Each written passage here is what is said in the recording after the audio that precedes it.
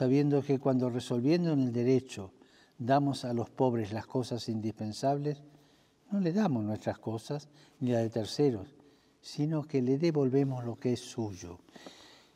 Hemos perdido muchas veces esta idea de devolver lo que le pertenece.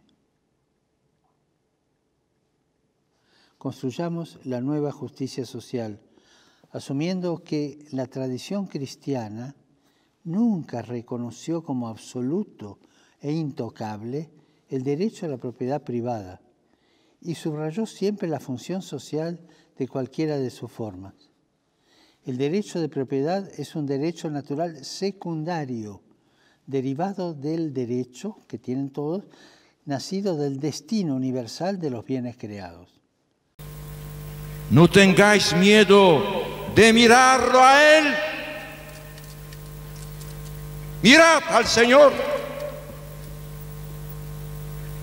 ¿Qué veis? ¿Es solo un hombre sabio? No. Es más de eso, que eso. ¿Es un profeta? Sí. Pero es más aún. Es un reformador social. Mucho más que un reformador. Mucho más.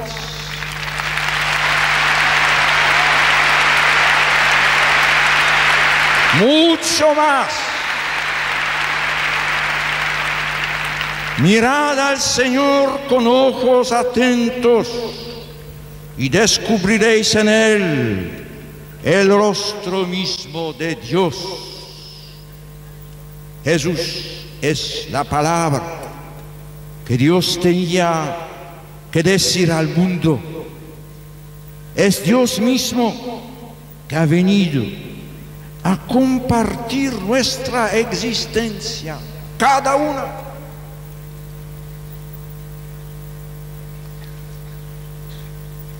Al contacto de Jesús despunta la vida. Lejos de Él solo hay oscuridad y muerte. Vosotros tenéis sed de vida, de vida ¿Cuál? De vida eterna. De vida eterna. De vida eterna. Buscarla y aladla, aliadla, en quien no solo da la vida, sino en quien es la vida misma. Él